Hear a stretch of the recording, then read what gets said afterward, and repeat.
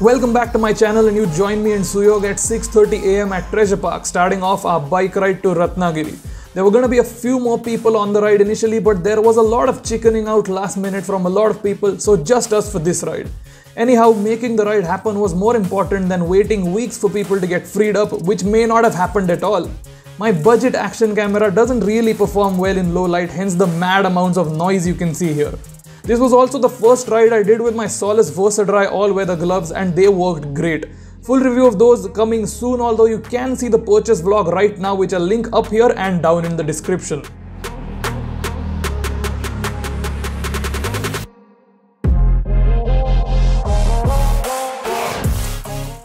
As soon as the surroundings started to light up a bit, we found ourselves on the highway.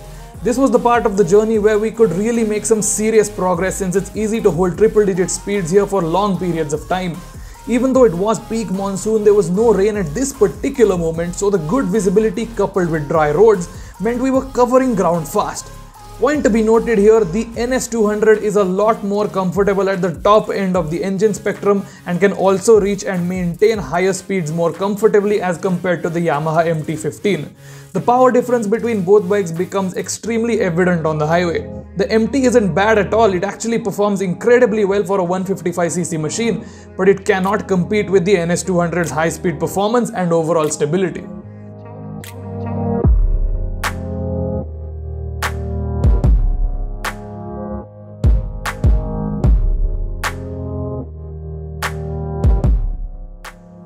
Khambhatki Ghat is a ghat I've been to a couple of times before this and I always always enjoy it here. The dry roads meant we could really hit the twisties with a lot of confidence. The MT-15 with its lighter weight and shorter wheelbase excelled at cornering and was also quicker and more eager to dart rapidly out of the bends. Here the MT nudges past the NS in terms of agility and handling. It's really a very well put together machine.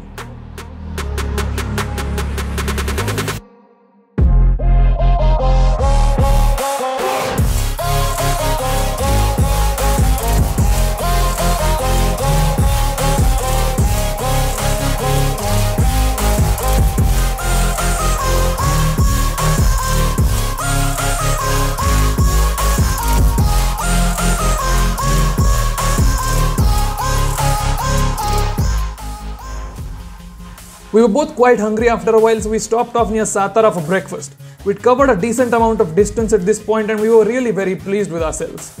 My massive tail bag hadn't moved an inch since we left and I was glad the straps and bungee cords were holding up well. I'd used my new luggage rack and saddle stays for lots of useful luggage rope mounting points. For a reference of what luggage we were using, I was using the old 50 litre expandable Rynox Stormproof tailbag and Suyog was using the smaller but newer 42 litre Rynox Expedition trail bag too. Rynox stock bag straps aren't always great, they always get a little loose over the course of the ride regardless of how well you tighten them, which happened to Suyog's bag but not mine since I'd used 3 extra bungee cords which ironically I'd actually borrowed from Suyog himself. Because of the MT-15's small back seat, there's less room on the back for luggage as well and larger bags like the one I was using don't fit very well on that bike.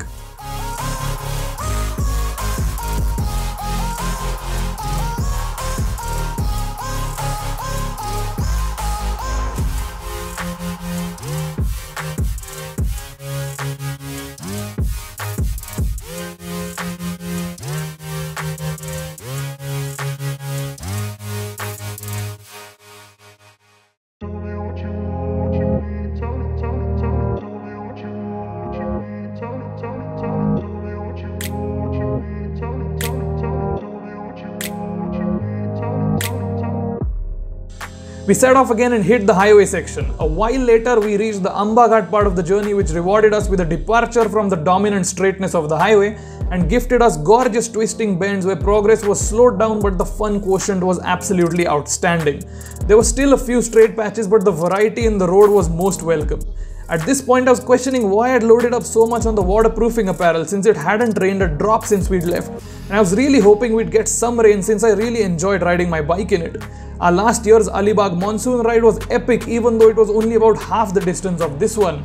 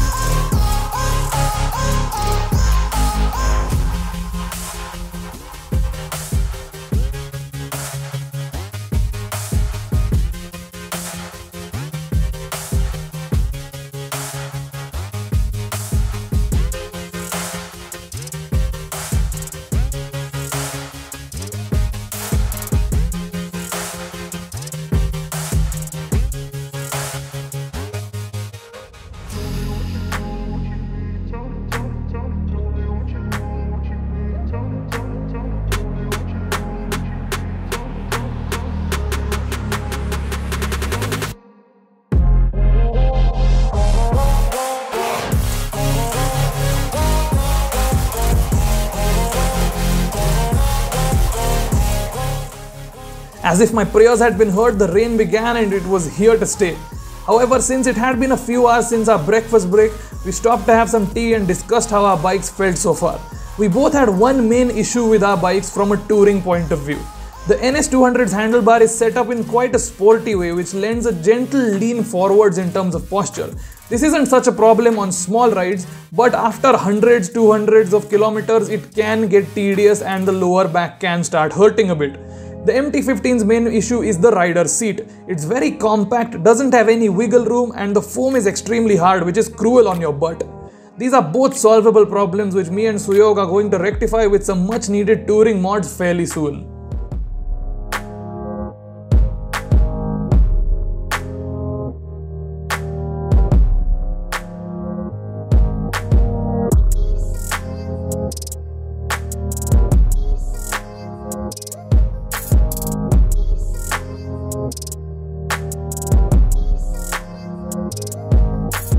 We started riding in the rain and boy was it fun.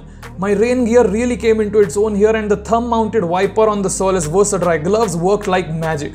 I took it easy in the wet since I didn't want any slip and fall mishaps, but as the road went on I really developed a good amount of confidence in the bends and was able to get my speed up in the twisties even in the wet during continuous downpour. The TVS Eurogrips did not let me down here.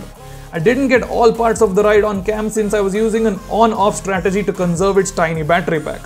Suyog didn't get as much cornering confidence in the wet from his Yamaha, not sure if that was him or the bike or both, but the point is that we both enjoyed riding in the rain at our own comfortable pace. A little later, a mountainous pass opened up into one of the most beautiful en route locations I've ever come across on a bike ride. These pictures really don't do this place justice, it looked like absolute heaven. There was a massive deep valley to our left, bathed in dense vegetation with thick fog and clouds spilling all over it. It was absolutely breathtaking, and we had to stop to admire the beauty of this place. After this, more rain riding took place, and a while later, we entered Ratnagiri, although unfortunately, my action cam battery had died by this stage.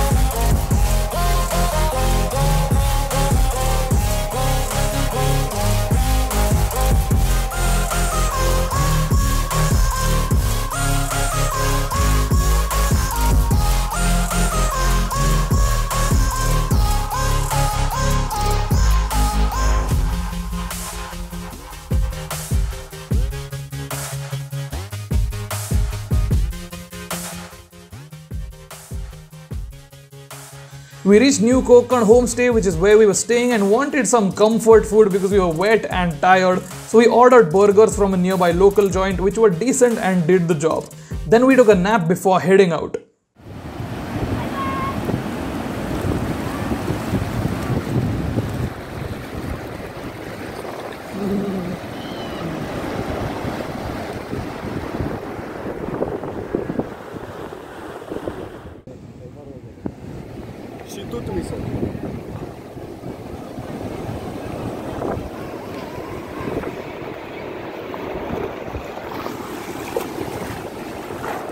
Chicken आहे मी धरणार नाही full वेळ खाली हो मी chicken आहे हा.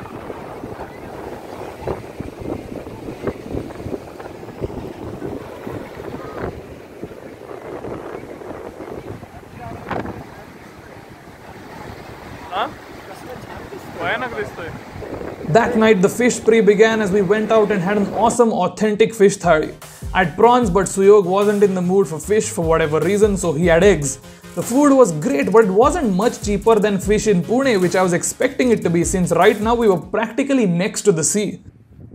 Okay, so we've woken up and we've got our tea here in the room, but the problem is this this guy right here. Can do? Can you come here, ite, ite, against the light? I have a very bad hmm. camera. Okay, it's still very bad. Hang on. Okay, yeah.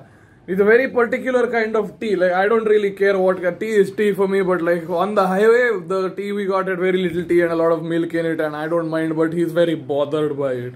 So now we are on the search. We are on the search somewhere in the horizon for a cup of tea that he likes. So yeah, look forward to that. The next day we went to Ganpatipule, visited the mandir, the beach and then ate more fish.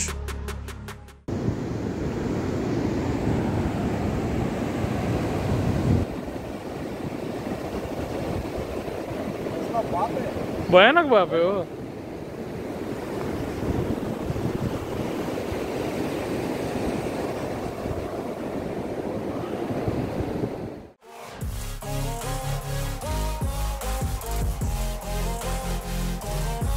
I'll give you a tour of our living accommodation now and fill you in about some stuff that happened that we didn't get on camera. New Kokon was a decent place to stay, it was cheap as hell. 1000 rupees per night for the bare bones non AC room, which translated to 500 rupees per person for us. The rooms were down a flight of stairs and there was one bathroom between two rooms, but since there wasn't anyone in the room next to ours, that didn't really bother us too much. The pillows were atrocious though, and they actually gave me a neck sprain which I had to take painkillers for for the ride back to Pune, and it still hurt like hell. A night earlier, we'd met my college friend Rugved, and we'd also ventured into some ridiculously muddy and rocky gully, where after a few minutes of tragic slipping and wheel spin with Rugved as pillion, my bike slipped and I fell. The speed was very low, so me and Rugved were uninjured, but my bike's shifter snapped backwards 90 degrees, locked in third gear, my knuckle guard came off, and the crash guard bent backwards. More details about how my saddle stays and crash guard saved the rest of my bike are in my saddle stay installation and review video, which I'll link up here and down in the description. So yeah, I had to ride my bike out of the mud and 10 kilometers through the dark to a mechanic only in third gear. The mechanic was extremely kind and helpful and got my bike working again. Another thing we noticed in the dark was that my Pulsar's headlight was absolutely useless. My auxiliaries made things a bit better, but not by much. The MT15's LED projector headlamp was the only shot we had at actually seeing anything at night. The next day, I actually got food poisoning from eating too much fish the past three days. Vomited like a maniac, and the only reason I got better was because my parents knew a doctor in Ratnagiri who prescribed me medicines over the phone and got me back in okay shape for the 300 kilometer ride back home the next day. I was very weak though, that's the main reason I'm walking so slowly in this video. The bike parking was super scenic in a new Kokon homestay because because of that whenever we came back from somewhere or we were leaving to go somewhere within Ratnagiri, it just made everything a lot more scenic because of how amazing the parking was. It was elevated and overlooked a lot of Ratnagiri and made the whole experience very pleasant. Our bikes overall performed incredible throughout and we were both happy with the ride. It was a little too eventful for me though. Could have done with fewer mishaps for sure. Also, the reason I don't have footage of quite a few things is because on the way back, Suyog's phone flew off his phone mount and got smashed on the road beyond repair, and that had a lot of good content on it. Overall, a very memorable ride, and we got home just before the catastrophic rain started in Ratnagiri. Monsoon rides are always memorable. Ride safe.